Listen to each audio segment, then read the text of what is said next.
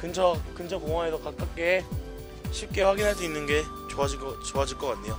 이제 여기 할머니들하고 이제 아이들이 이제 많이 오는 곳이니까 이제 이걸 보시고 이스크를 써야겠다 안 써야겠다 이런 거를 이제 좀 더 간편하게 할 수 있지 않을까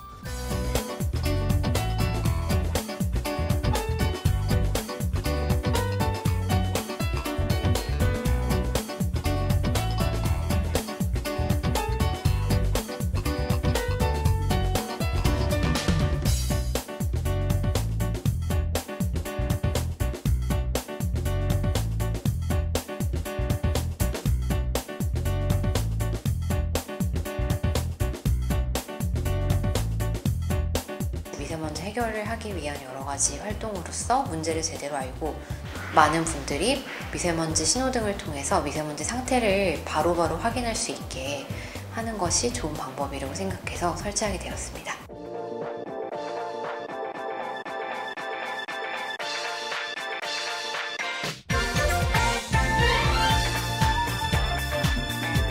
아이들이 좋아하는 체육 시간, 그 체육 시간이 과연 어떻게 될까? 그게 항상 어, 궁금했었고 선생님들께서도 결정하기 어려웠는데 즉시 미세먼지 신호등을 통해서 확인할 수 있게 되어서 어, 공부하는 데 많은 도움이 되겠습니다. 더욱더 확산되어서 많은 도움이 되었으면 더욱 좋겠습니다.